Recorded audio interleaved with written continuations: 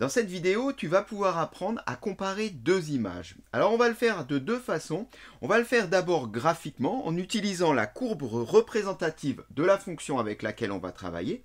Et ensuite, on va le faire algébriquement, c'est-à-dire par calcul. Commençons donc, première question, par comparer les nombres f de 0,5 et f de 1,5, comme c'est demandé, avec la fonction f, qui est donc la fonction carré. On voit, elle est représentée ici, c'est la fonction x au carré. Et je voudrais pouvoir lire graphiquement quelle est de l'image de 0,5 et de 1,5 la plus grande. Bien, l'exercice est assez simple. Il suffit juste de représenter chacune de ces images. Et on va commencer par représenter l'image de 0,5 par f, c'est-à-dire f de 0,5. Bien pour cela, il suffit de lire 0,5 sur l'axe des abscisses, ensuite rejoindre la courbe, puis projeter sur l'axe des ordonnées où on trouvera l'image de 0,5. Traçons ceci.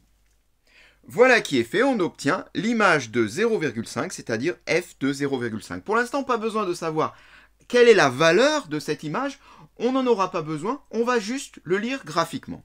Alors, ce qu'on va faire maintenant, donc, c'est de tracer l'image de 1,5, puisqu'on veut comparer f de 0,5 et f de 1,5.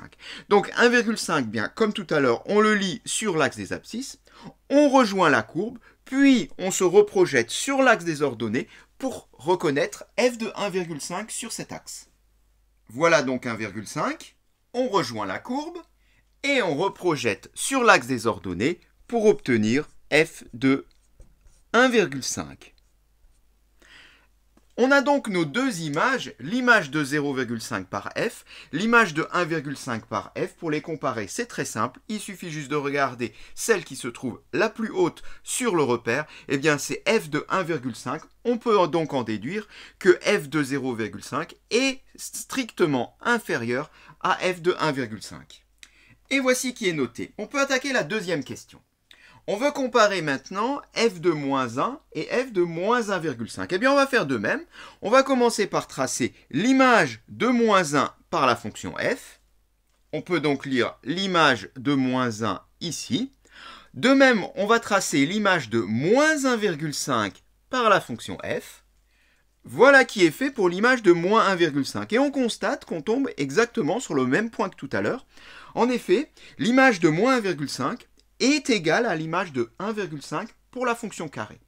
Euh, en tous les cas, on peut maintenant comparer l'image de moins 1 et l'image de moins 1,5, autrement dit f de moins 1 et f de moins 1,5, et on constate que le plus petit des deux, c'est f de moins 1. On peut donc dire que f de moins 1 est strictement inférieur à f de moins 1,5. Voilà, dernière question, la question 2. On nous demande maintenant de reprendre la question précédente donc celle-ci qui nous a permis d'établir que f de moins 1 est plus petit que f de moins 1,5, mais cette fois-ci en le faisant par calcul. Donc ça ne sera plus une lecture graphique. Pour cela, il faut déjà se rappeler de l'expression de la fonction, qui est f de x égale à x au carré. C'est écrit ici, c'est la fonction carré. À partir de là, eh bien, je vais pouvoir calculer l'image de moins 1 par la fonction f, on peut penser que c'est 1, ici on tombait tout pile sur l'unité, sur l'axe des, ordonnées, et l'image de moins 1,5. Alors allons-y pour f de moins 1 déjà. Bien, f de moins 1 sera donc égal à moins 1 au carré. Attention, moins 1 entre parenthèses, car c'est x au carré. Si x vaut moins 1, c'est donc moins 1 au carré.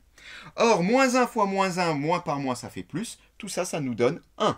Donc cela confirme ce qu'on avait lu graphiquement, effectivement, l'image de moins 1 est bien égale à 1.